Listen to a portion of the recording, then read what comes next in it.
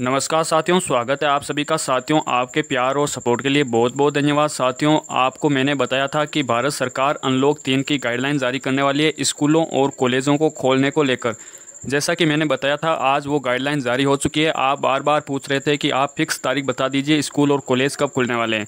तो गाइडलाइन आ चुकी है वीडियो लास्ट तक पूरा देखना। आपको सभी चीज़ें अच्छे से समझ में आ जाएगी कि क्या सरकार ने गाइडलाइन दी है, किन राज्यों ने हामी भरी थी, उसके बावजूद स्कूलों को बंद कर दिया गया था।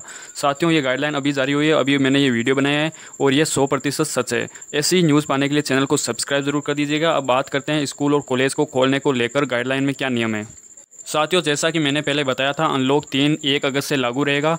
देश भर में नाइट कर्फ्यू पूरी तरह ख़त्म हो चुका है। अब आप रात को घुमाई कर सकते हैं। योग इंस्टीट्यूट और जिम को खोल दिया गया है। लेकिन हम काम की बात करते हैं, जिसके लिए वीडियो बना रहा हूँ। स्कूल, कोचिंग और कॉलेज 31 अगस्त तक बंद रहेंगे। साथियों, ये आपके लिए फ़िक्स डेट होगी।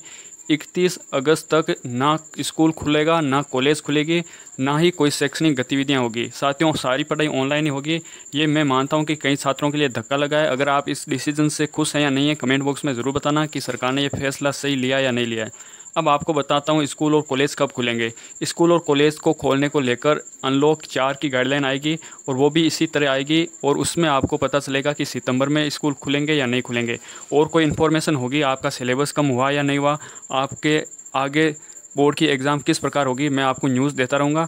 आप बस मेरे पर विश्वास करके इस चैनल को सब्सक्राइब कर दीजिएगा।